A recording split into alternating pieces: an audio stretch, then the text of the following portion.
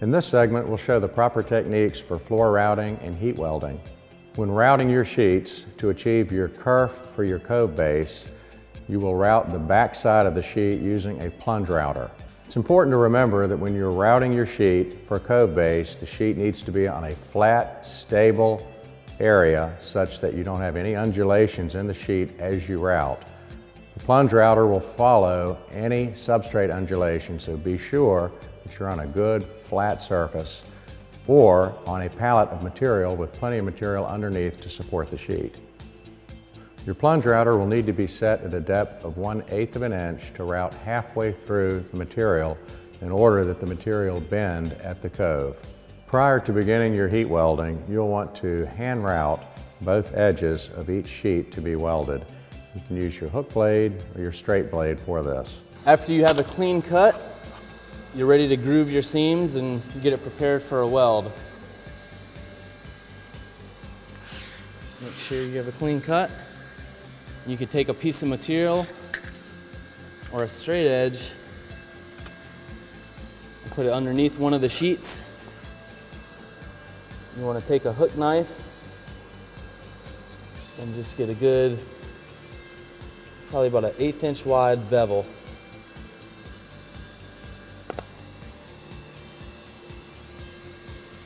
Going down your sheet. One thing that's important is you want to leave just a slight little bit at the bottom, maybe 10%, um, that doesn't get cut, so these two pieces can melt together at the bottom once they're welded. Um, I do that on both sides so that when it's welded, it's 100% whole at the bottom. You want to cut it probably 90% of the way through, ideally. You just want to make sure that you get a good uh, straight cut and it's not wavy. Any types of waves is going to make your, your seam uh, you know, kind of look wavy. It'll show any mess ups or fluctuations that you do with the knife. So you just want to keep it as straight as you possibly can. And it's definitely something that just takes some time.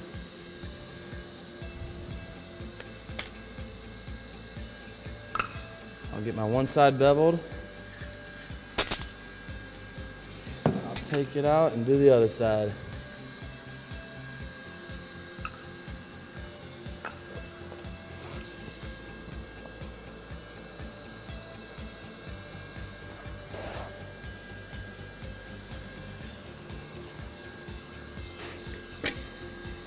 typically, after your route is finished or your groove, you want it to show about a quarter inch of gap, maybe a little more.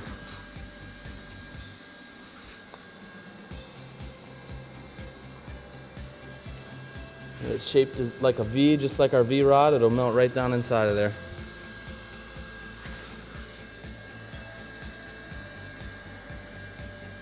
Here I'll demonstrate the routing technique with an electric groover. This is a Leister electric groover and is the most popular for this application. So you're gonna line up your arrows along with your seam that's already cut. Make sure the arrow in the front along with the arrow in the back are both aligning. And you're gonna push down after you start the, the motor and just get very even pressure throughout.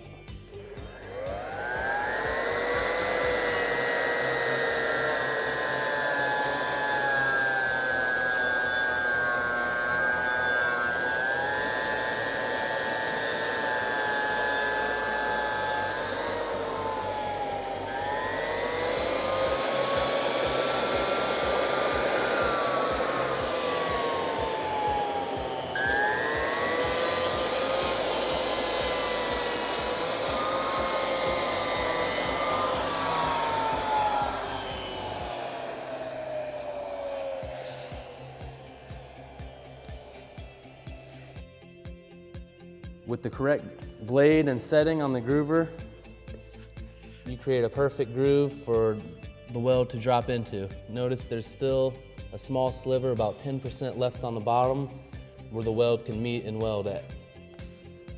If you're using the electric groover on an uneven substrate or a retrofit project, it is a good idea to use a half inch piece of plywood underneath the seams as you groove.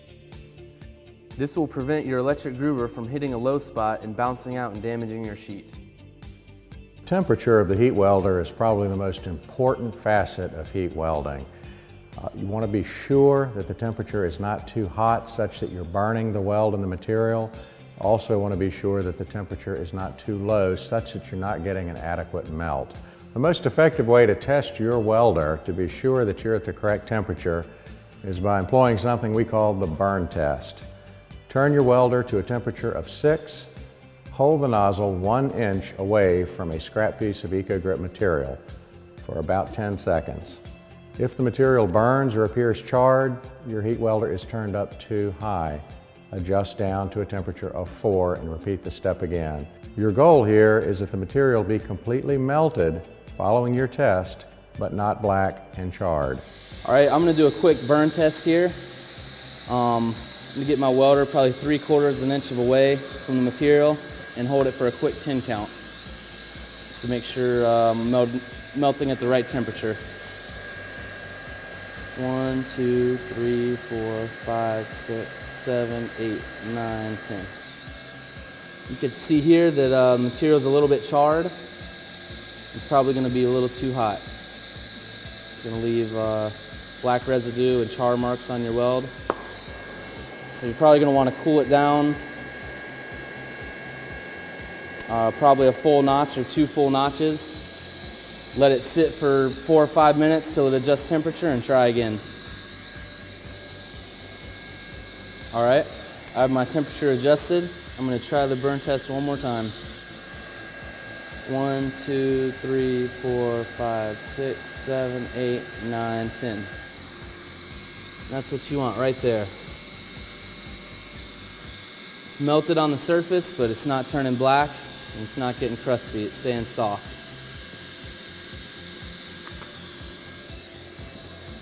Your first step welding is just to make sure that this cut is good and make sure that your, uh, your floor is level on both sides and is all the way down to the floor. Any fluctuation where one side is an eighth inch higher than the other or a quarter inch is going to make the weld look um, a little suspicious.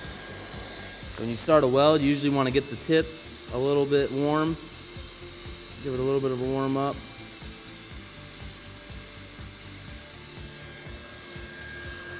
You just want to take your time and be very consistent.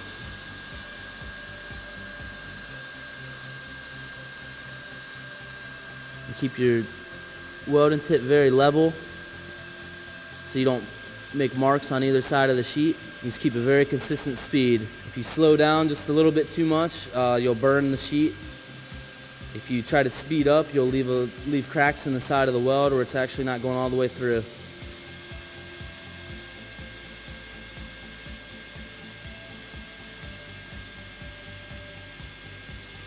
If you look closely, you'll see there's little sides on each, there's little uh, melt marks on each side of the weld.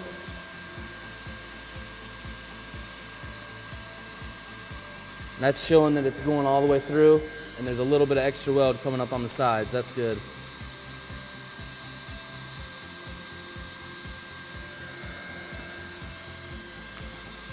I'm also pushing through with my left hand. I'm pushing the weld through just to make sure it doesn't get stopped up in there. It doesn't stretch out and leave a crack. I'm not really putting a lot of pressure down. I'm probably only putting five pounds of pressure it's just the heat is kind of holding me, holding me down in there. Once you get a weld started, it tries to stay deep.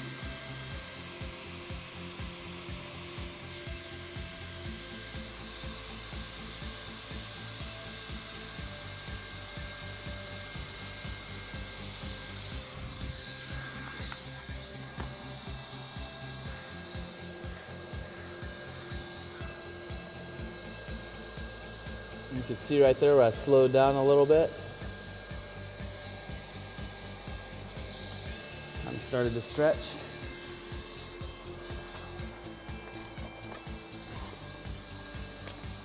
Your next step is going to be to shave the welds.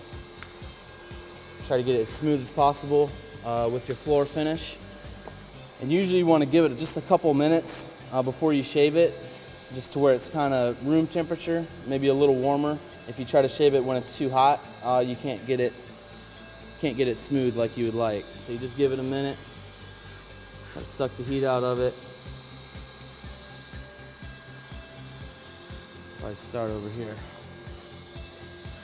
just take your uh, your quarter moon knife.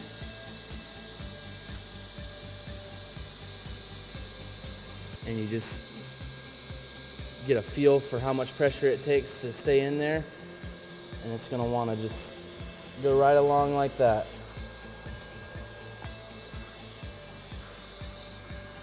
As long as it's not too sharp, it shouldn't damage your floor on the sides. If it's been sharpened uh, very recently or not sharpened correctly, it can dig out your sides and, and ruin your whole weld. So just be careful that you're going slow with your flat knife and getting a feel for it.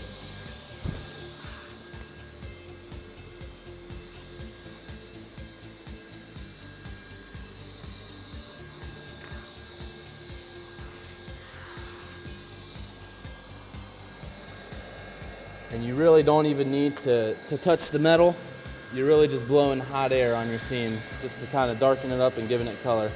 You don't want it to touch much at all.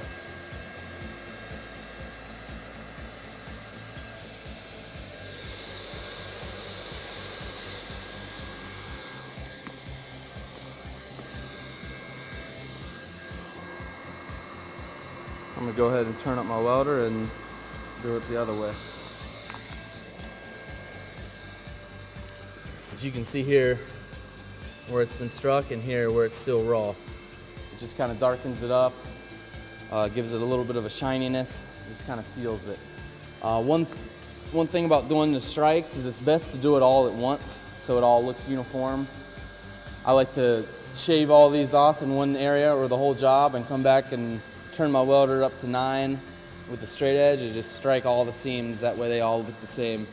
Different welders, you know, all trying to strike their own seams, they look a little bit different. You just want to keep it as uniform and professional as possible. So I think I probably got the right heat adjustment. I'm just going to strike the rest here.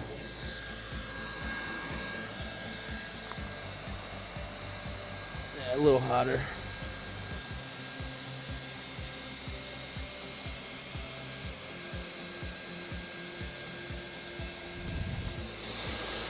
Clearly see a difference here and here.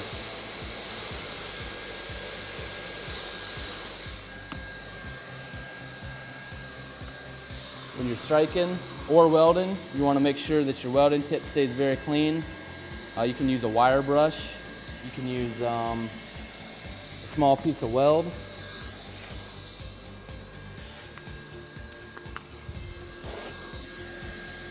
And you can just kind of Make sure you don't have any debris in there.